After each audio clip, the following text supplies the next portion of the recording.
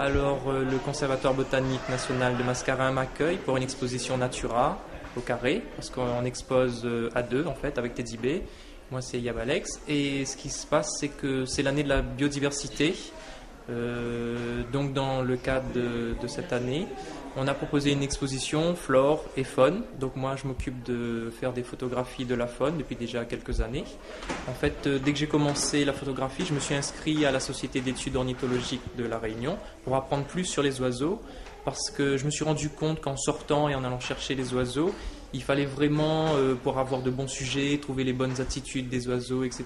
Donc la première exposition au conservatoire que j'ai fait l'année dernière ici, c'était l'oiseau dans son biotope, son milieu parce qu'il est important de préserver le milieu pour sauvegarder au moins les oiseaux. Euh, et cette année, j'ai voulu plus accentuer sur le cycle de la vie. Et dans le cadre de l'année de la biodiversité, je veux montrer justement que tout, tout, est lié, tout est vivant, tout est lié. Il faut voir un peu la biodiversité comme un château de cartes. Et euh, si on enlève une pièce, on enlève une carte, le, le, château est de plus en plus fragile. Et plus on enlève de pièces, et il faut s'attendre à ce que ça s'écroule à un moment donné.